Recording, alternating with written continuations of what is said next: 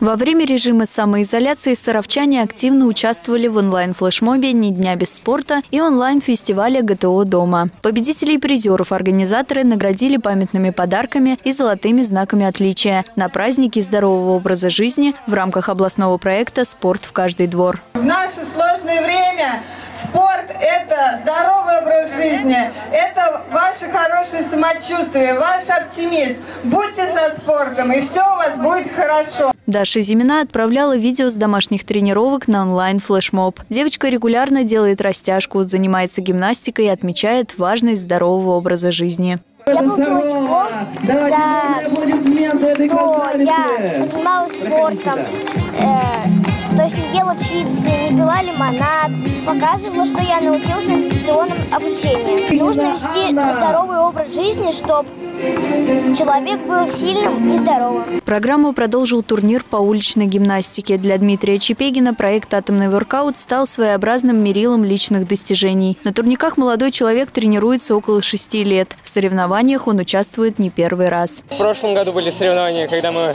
выбрались на межгород. Я в том году занял второе место. Тоже поехал на межгородские соревнования в Ижевск.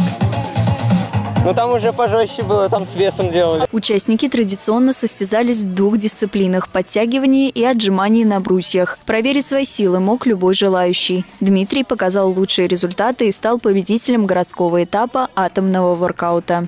Дарья Козина, Евгения Шевцова, Александр Мальков. Служба новостей Саров 24.